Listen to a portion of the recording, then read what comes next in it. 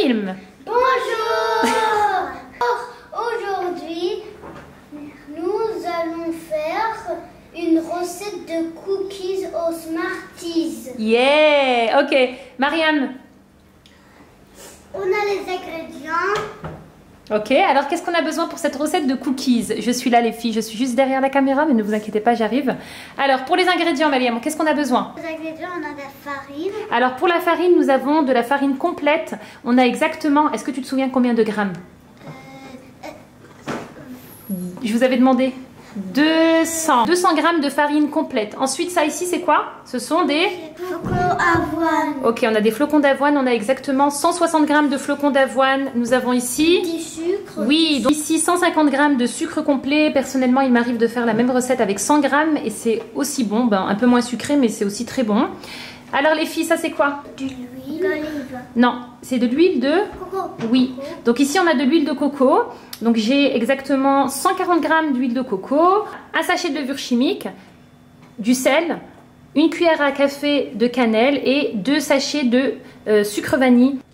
Donc on a ici deux œufs et alors la Des dernière chose. Vous, êtes prêtes On commence? Oui. Allez, on va profiter Caroline est en train de dormir. Si vous avez des enfants, n'hésitez pas à faire la recette avec eux.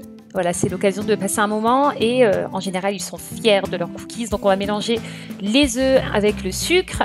Une fois que c'est bien mélangé, on va ajouter l'huile de coco. Personnellement, pour les cookies, euh, j'utilise l'huile de coco parce que ça parfume les gâteaux et euh, ça donne aussi un très bon goût.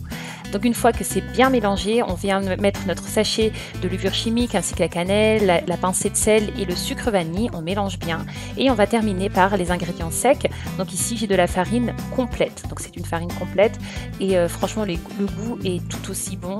Euh, je, vous ai partagé une autre recette beaucoup plus classique, mais personnellement j'essaie vraiment à chaque fois de faire avec euh, de la farine complète. Maintenant je vais ajouter mes flocons d'avoine et je viens mélanger tout simplement avec mes mains. Donc vous voyez que la pâte a une couleur euh, foncée tout simplement parce qu'on a mis de la cannelle et aussi euh, la farine complète est un peu plus foncée que la farine euh, blanche. On termine avec les Smarties. Bien sûr, vous pouvez mettre des pépites de chocolat, des noix, des amandes, du raisin. Vraiment, c'est comme vous voulez. On vient donc façonner nos boules. J'ai mis mon four à préchauffer à 180 degrés. 10 minutes de cuisson. Surveillez bien. Vous allez voir que c'est juste parfait. Maintenant, ça dépend des fours, en tout cas pour ma part, 180 degrés, 10 minutes. C'est parti. On vient de terminer les cookies, donc comme je vous disais, 10 minutes de cuisson. Ben, comme d'habitude, on va faire la dégustation. Les filles, vous êtes prêtes On va goûter. Pour le coup, on est sur des cookies healthy puisqu'on a de la farine complète, flocons d'avoine. J'ai mis beaucoup moins de sucre que, euh, que la plupart des cookies, 100 grammes comme je vous disais. Je pense que pour les Smarties, l'idéal c'est vraiment de les placer après pour bien les voir. Alors les filles, qu'est-ce que vous en pensez? Oui. Oui. Mmh, mmh, mmh, Trop trop bon. Ahmed, délicieux. Franchement, c'est Mmh. trop bon. Ahmed, t'en penses pas Trop bon.